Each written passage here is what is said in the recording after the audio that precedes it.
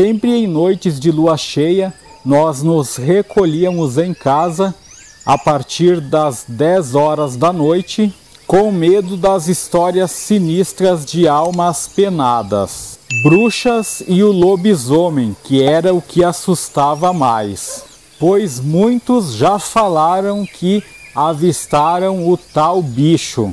Mas um dia eu fiquei até tarde no bolicho e era uma sexta-feira de lua cheia. Eu estava voltando a cavalo quando cheguei no sítio. Estava tudo muito escuro, mas no galinheiro havia barulhos. Eu até achei que fosse uma raposa atacando no galinheiro. Então eu apiei do meu cavalo e pela claridade da luz da lua, vi que não era uma raposa, mas sim uma coisa enorme que eu não consegui distinguir o que era, só sei que eu consegui dar um chute na cara do bicho.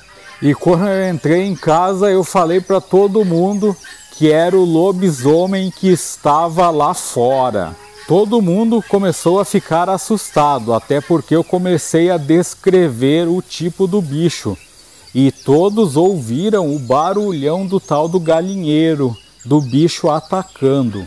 No outro dia eu fui levar um tarro de leite na fazenda vizinha e nesta fazenda tinha um homem que morava sozinho e todos ficavam com um pé atrás em relação a ele, pois ele era muito estranho.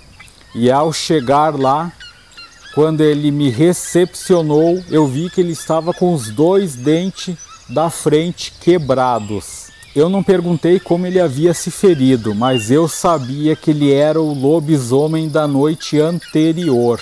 Então, passado muitos anos depois, ele já até havia falecido, eu fui estudar o que era que aquele homem tinha. E aí eu descobri que ele sofria de uma doença, uma doença chamada de síndrome de licantropia, onde uma pessoa com a influência da natureza assume a identidade de um animal e no outro dia geralmente não se lembra de nada. E eu salvei um trechinho aqui explicando o que é a licantropia. Veja só. Licantropia clínica é uma rara síndrome psiquiátrica no qual a pessoa afetada sofre a ilusão de poder se transformar ou de fato ter se transformado em um animal ou que tal é de alguma forma um animal. Então tá aí meus amigos, eu convido a você a se inscrever no canal e se você gostou da história de quando eu surrei o tal do lobisomem e quiser deixar um like, ficarei muito feliz. E a gente volta a se encontrar no próximo vídeo. Até lá então e tchau!